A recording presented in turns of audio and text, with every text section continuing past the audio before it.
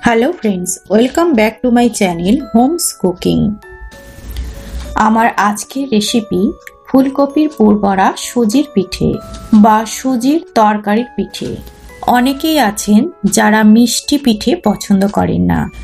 যারা একটু ঝাল বা নোনতা জাতীয় কিছু খাবার পছন্দ করেন, তারা অনায়াসেই এই পিঠে বাড়িতে তৈরি করে খেতে পারেন। আর এই পিঠেটা আমি সুজি দিয়ে তৈরি করেছি সুজির পিঠে কিন্তু খেতে খুবই নরম হয়। চালের গুঁড়ি দিয়ে পিঠে তৈরি করলে যাদের পিঠে শক্ত হয়ে যায়, তারা এই সুজি দিয়ে পিঠে তৈরি করতে পারেন। তাহলে পিঠে কিন্তু খুব নরমই হয়। চলুন দেখে নেওয়া যাক পিঠে তৈরির পদ্ধতি। প্রথমে আমি ফুলকপি তরকারিটা তৈরি করে নিচ্ছি। তার জন্য কড়াইয়ের মধ্যে দিয়ে দিলাম দুই টেবিল চামচ সর্ষের তেল। এরপর তেলটাকে ভালো করে গরম করে নিয়ে এর মধ্যে দিয়ে দিলাম ওয়ান ফোর চামচ পাঁচ ফোড়ন। পাঁচ ফোড়ন ভাজার সুন্দর গন্ধ বেরোলে ভাজার জন্য এর মধ্যে দিয়ে দিলাম একটা ছোট সাইজের কুচিয়ে রাখা আলু। আর কিছুটা পরিমাণ ছোট টুকরো করে কেটে রাখা ফুলকপি। ফুলকপি আর আলুটাকে তেলের মধ্যে একটু লাল করে ভেজে নিতে হবে। এখন ফুলকপি আর আলুটা খুব ভালোভাবে ভাজা হয়ে গেছে। এবার এর মধ্যে দিয়ে দিলাম হাফ চামচ লঙ্কার গুঁড়ো আর হাফ চামচ হলুদ গুঁড়ো। ঝালটা অবশ্যই আপনারা আপনাদের পছন্দ মতো ব্যবহার করবেন। এবারে মশলাগুলো ফুলকপি, আলুর সঙ্গে একটু করে ভেজে নিচ্ছি। মশলা ভাজা হয়ে যাওয়ার পর এর মধ্যে দিয়ে দিলাম পরিমাণ মতো জল। এরপর এর মধ্যে দিয়ে দিলাম কিছুটা পরিমাণ কড়াইশুঁটি। আর স্বাদ অনুযায়ী নুন। এবারে সমস্ত উপকরণগুলোকে ভালো করে মিশিয়ে নিয়ে ঢাকা দিয়ে মিডিয়াম হিটে তরকারিটাকে সেদ্ধ করে নেব। মাঝখানে একবারে ঢাকা খুলে তরকারিটাকে আমি নেড়ে দিলাম। তারপর কিছুক্ষণ পর ঢাকাটাকে খুলে নিলাম। দেখুন, আলু আর ফুলকপি খুব ভালোভাবে সেদ্ধ হয়ে গেছে।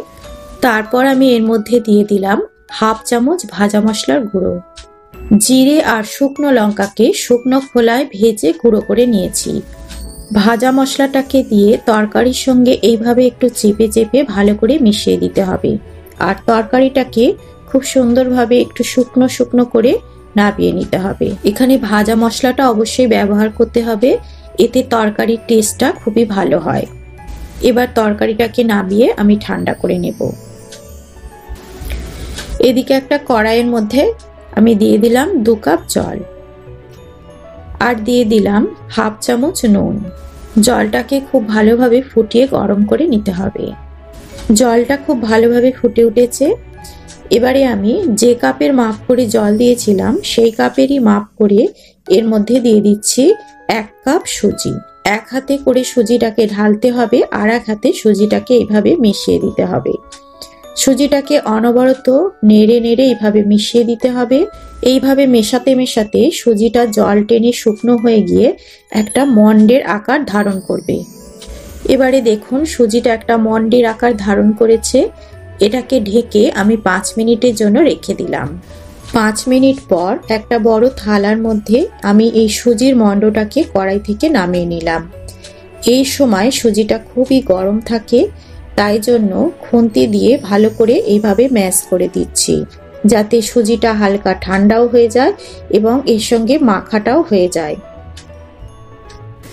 খুন্তি দিয়েই আমি এইভাবে সুজিটাকে গরম অবস্থাতেই চেপে চেপে একটু মেখে নিচ্ছি। এবার সুজিটার গরমটা একটু কমে গেলে একটা পাত্রে আমি জল নিয়ে হাতটা ডুবিয়ে নিচ্ছি এবং সেই জল হাত করে সুজিটাকে ভালো করে মেখে নিচ্ছি। হাতে যদি গরম লাগে, বারবার এইভাবে হাতে একটু জল দিয়ে দিয়ে সুজিটাকে মেখে নিতে হবে। সুজি কিন্তু ঠান্ডা হয়ে যাওয়ার পরে মাখলে একদমই হবে না। কেন, সুজি যদি ঠান্ডা হয়ে যায়, তাহলে সুজি শক্ত হয়ে যাবে এবং ডোটা তৈরি করতে খুবই অসুবিধা হবে। এবারে দেখুন, সুজিটা একটা স্মুথ ডোয়ে পরিণত হয়ে গেছে। এবার এটাকে আমি ঢেকে রেখে দেবো, তা না হলে হাওয়া লেগে ওপরে লেয়ারটা শুকনো হয়ে যাবে। তরকারিটা ঠান্ডা করে আমি থালার মধ্যে নিয়ে নিয়েছি। এবার সুজি ঢাকাটা খুলে সুজিটাকে আমি আরেকটু মথে নিচ্ছি। এবারে এই মণ্ডটার থেকে ছোট ছোট লেচি কেটে নিচ্ছি। আপনারা যেরাম সাইজের পিঠে তৈরি করতে চান, সেই অনুযায়ী লেচি কেটে নিতে পারেন। আমি একটু মাঝারি সাইজের লেচি কেটে নিলাম। এবারে একটা লেচিকে নিয়ে হাতে একটু জল লাগিয়ে দু হাতের আঙুল দিয়ে এইভাবে ঘুরিয়ে ঘুরিয়ে একটা বাটি বা খোলের আকার দিয়ে দিতে হবে। সুজির পিঠে তৈরি করার সময় শুকনো আটা বা ময়দা এইসব নেওয়ার প্রয়োজন হয় না। হাতে একটু জল লাগিয়ে নিলেই অতি সহজেই এইরকম একটা বাটির আকার তৈরি করা যায়। এবারে এর মধ্যে দিয়ে দিচ্ছি পর্যাপ্ত পরিমাণে তরকারির পুর। তরকারির পুরটাকে হাত দিয়ে এরকমভাবে একটু চেপে চেপে বসিয়ে পিঠের মুখটাকে খুব ভালোভাবে শিল করে দিতে হবে। দেখুন আমি মুখটাকে খুব ভালোভাবে শিল করে দিচ্ছি যাতে পিঠের পুরটা বাইরে বেরিয়ে না আসে। শিল করে নেওয়ার পর এর ওপরের দিকে মুখটা হাত দিয়ে চেপে এভাবে মুড়ে দিচ্ছি। তাতে পিঠেটা দেখতে ভালো লাগে। আর এইভাবে একটু বেঁকিয়ে সুন্দরভাবে একটা পিঠের শেপ দিয়ে দিলাম। এইভাবে পরের লেচিগুলোকেও হাতে একটু জল লাগিয়ে লাগিয়ে একটা বাটির আকার দিয়ে নিচ্ছি।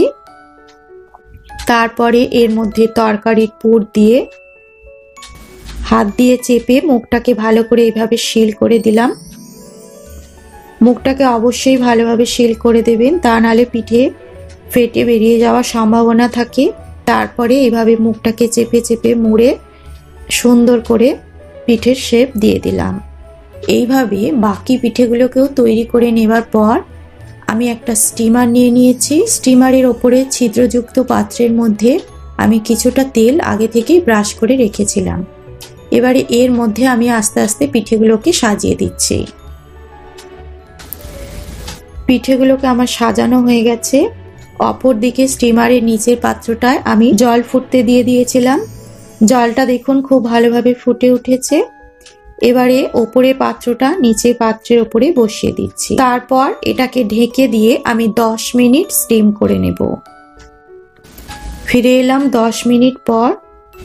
এবার দেখে নেব পিঠেগুলো সেদ্ধ হয়েছে কি। হাত দিয়ে এইভাবে পিঠেগুলোকে দেখে নিতে হবে। যদি আঙুলের মধ্যে কিছু লেগে না থাকে, তাহলে বুঝতে হবে পিঠেগুলো সেদ্ধ হয়ে গেছে। এবার আমি পিঠেগুলোকে পুরোপুরিভাবে ঠান্ডা করে তারপরে স্টিমার থেকে বের করব। পিঠেগুলো ঠান্ডা হয়ে গেছে। এবারে একটা পিঠেকে নিয়ে আমি দেখিয়ে দিচ্ছি, দেখুন পিঠেগুলো কতটা সফট হয়েছে। এবারে নলেন গুড়ের সঙ্গে পিঠেগুলোকে আমি পরিবেশন করছি। আমার এই সুজির তরকারির পিঠের রেসিপি আপনাদের কেমন লাগল অবশ্যই জানাবেন। যদি ভালো লেগে থাকে তাহলে বাড়িতে অবশ্যই ট্রাই করবেন। নতুন বন্ধুদের কাছে আমার রিকোয়েস্ট হইল আমার চ্যানেলটিকে সাবস্ক্রাইব করে আমার পাশে থাকার জন্য। আর পুরনো বন্ধুদের কাছে আমার রিকোয়েস্ট রইল, আমার চ্যানেলটিকে তার পরিবারবর্গ এবং বন্ধু বান্ধবের মধ্যে শেয়ার করার জন্য। এতক্ষণ সঙ্গে থাকার জন্য আমার সকল বন্ধুদের অসংখ্য ধন্যবাদ।